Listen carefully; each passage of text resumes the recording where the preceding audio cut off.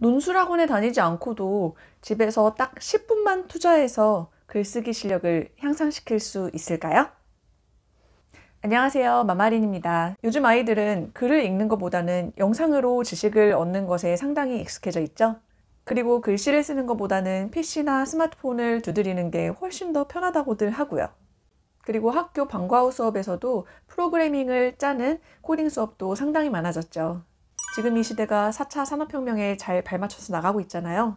우리 아이들도 거기에 맞춰서 적응을 하려면 미디어를 잘 활용해서 지식 습득도 하고 어, 자신만의 콘텐츠를 만들기 위해서는 아무래도 코딩을 하는 기술도 필요하겠죠. 그런데 그냥 단순히 영상을 보고 프로그래밍을 잘한다고 해서 자신의 생각을 제대로 정리해서 자기만의 콘텐츠를 만들 수 있을까요? 제가 요즘 유튜브 컨텐츠를 만들면서 드는 생각인데요. 영상을 그냥 소비하는 것과 자기가 직접 생산해내는 것은 정말 하늘과 땅 차이라는 걸 느껴요. 어떤 주제를 설득력 있게 영상 하나를 만들려고 해도 가장 필요한 거는 아, 내가 나의 생각을 다른 사람에게 조리 있고 가장 쉽게 전달할 수 있는 그런 능력이 필요한 거더라고요. 카이스트 교수님인 정재승 교수님이 이런 말씀을 하셨어요. 4차 산업혁명에 대응하는 단기적 전략과 적응력은 역설적으로 장기적 관점의 기초 실력에서 나온다. 세상이 어떻게 바뀌든 핵심 경쟁력은 사람들의 생각하는 능력, 즉 기초 지력에 있다. 결국에는 미래의 우리 아이들이 스스로 경쟁력을 가지려면 코딩하는 기술보다는 창의적으로 생각하는 사고력이 필요한 것 같아요. 그리고 이 세상에 돌아다니고 있는 무수히 많은 정보들을 잘 활용해서 자신만의 창의적이고 그리고 뭔가 더 새로운 것으로 만들어내려면 그 많은 정보들의 맥락을 이해하고 비판적으로 사고하고 논리적으로 추론해서 그 모든 것들을 조합을 할 수 있어야 기존에 나와 있는 것 말고 나만의 자신만의 새로운 것을 창조해낼 수 있고 그리고 곧 그게 아이들의 경쟁력이 된다는 거죠. 그러려면 평소에 어떤 연습을 해야 하는 걸까요? 지금부터 내 생각을 간략하게 정리해보고 그걸 써보고 써본 걸 말하는 연습까지 해보면 도움이 되지 않을까요? 저는 지금까지는 글쓰기 훈련을 어떻게 했냐면 아이한테 어, 네가 흥미롭고 관심 있어 하는 주제를 뉴스나 신문에서 찾아보고 그 뉴스를 읽어본 다음에 거기에 맞게 자신의 생각을 글로 한번 써봐라. 이렇게만 했었어요. 뭐 정해진 형식이나 틀 이런 건 정해주지 않고 본인이 알아서 직접 쓰게 했었거든요. 무조건 꾸준히 쓰다 보면은 어느 순간에는 늘겠지 이렇게 생각을 했었는데 1년이 지나고 2년이 지나도 꾸준히 쓰는 거랑 글의 형식에 맞게 잘 쓰는 거는 조금 다르더라고요. 글을 쓴 거를 보면은 너무 자유분방하기도 하고 간혹 가다가는 주제에 벗어나는 것도 있고 어디서부터 어떻게 말해줘야 좋을지 모르겠는 그런 서론, 본론, 결론 이런 게 전혀 없는 그런 글쓰기가 되더라고요. 얼마 전에 도서관에 갔다가 제가 이 책을 발견해서 읽어봤어요. 보이시죠? 초등학생을 위한 150년 하버드 글쓰기 비법. 이 책이 저한테 와닿았던 이유는 뭐냐면 어, 가장 간결하고 그리고 초등학교 아이가 알아듣기에도 굉장히 쉬워서 형식에 맞춰서 꾸준히 써볼 수 있겠다고 생각을 했어요. 그래서 오늘 제가 이 책에 나와 있는 글쓰기 방식을 여러분과 함께 공유해 보려고 합니다. 이 책에서 말하는 글쓰기 방법은 굉장히 간단해요. 어떤 주제든지 간에 글을 쓸 때 항상 오 레 오 형식으로 쓰면 된다고 말하고 있는데요. 오레오 하면은 뭐가 떠오르세요? 그 우유에 살짝 찍어 먹는 그 과자 생각나지 않으세요? 그게 아니고 오늘은 O, R, E, O 순서대로 한번 말씀드려 볼게요.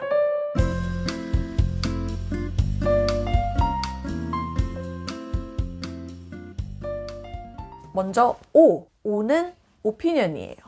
자기 의견을 제시하고 R, R은 reason이에요. 자기가 제시한 의견에 대해서 이유를 대는 거예요. E, E는 example. 그 이유에 대해서 구체적인 예시를 드는 거고요. O, O는 다시 opinion. 처음에 말했던 의견을 다시 한번 강조해 주는 거예요. 어때요? 아주 간단하죠? 이렇게 O, R, E, O 각각 한 문장씩 네 줄만 쓰면은 글쓰기가 완성됩니다. 그런데 이렇게 오레오 법칙으로 글 쓰는 게 몇 시간이나 걸릴까요? 당연히 주제는 정해져 있어야 되고요. 주제를 정하는 데만 해도 시간이 엄청 많이 걸리잖아요. 주제를 여러 가지를 정해놓고 그 중에 아이한테 선택하게 해주는 게 좋습니다. 그런 다음에 아이한테 글을 쓰게 하면은 글 쓰는 시간은 10분도 안 걸려요. 이 간단한 오레오 법칙으로 여기저기에다가 활용을 할 수 있는데요. 독서 노트, 그리고 배움 노트. 그리고 나중에 가서는 어, 자기소개서에도 쓸 수 있어요. 예를 들어서 자기소개서로 한번 해볼까요? 음, 첫 번째 O. 저는 이러이러한 사람입니다. R. reason이죠. 그때는 저는 이러이러하기 때문입니다. E. E는 example. 저는 이러이러한 경험을 했었습니다. 그러니까 아까 전에 이런 사람이기 때문입니다. 라는 어, 거에 대한 구체적인 예시를 드는 거죠. 어떤 경험을 통해서. 그 다음에 마지막으로 O. 그래서 저는 이러한 사람입니다. 혹은 그래서 저는 여기에 지원을 하고 싶습니다. 이렇게 하면은 되겠죠. 굉장히 간단해요. 딱 O, 레, O, 이 O, R, E, O 순서대로 한 줄씩만 써서 네 줄을 완성하면은 끝나는 거예요. 뿐만 아니라 토론 수업에도 직접 말을 할 때 이렇게 말을 할 수 있어요. 제 주장은 이렇습니다. 왜냐하면 이러이러하기 때문입니다. 예를 들면은 이렇습니다. 그래서 저는 이렇게 생각합니다. 어때요? 딱네 문장으로 자기의 의견을 주장을 할 수가 있는 거죠. 그런데 의견만 주장을 하면은 상대방들한테 신뢰가 없잖아요. 의견을 주장할 때는 반드시 거기에 맞는 이유를 제시하고 그 이유에 맞는 구체적인 예시까지 들면은 자기의 의견을 뒷받침해주는 근거가 확실해지겠죠. 그래서 아이가 이렇게 네 줄로 쓰는 거를 매일매일 봐주시는데 우리 엄마들이 아이가 그 오레오 형식으로 쓸 때 좀 주의해서 봐주셔야 할 게 있어요. 음, 첫 번째로는 문장 성분이 빠지지 않았는지, 그러니까 뭐 주어, 동사, 목적어 뭐 이런 순으로 되어 있는지와 어, 만약에 주어가 좀 빠져 있다 그러면은 누가 뭘 했는지 그게 명확하지가 않잖아요. 그러니까 그런 부분을 조금 말을 해줘서 아이가 명확하게 문장 성분들을 꼼꼼히 빠지지 않고 쓸 수 있게 도와주시는 것도 중요할 것 같고요.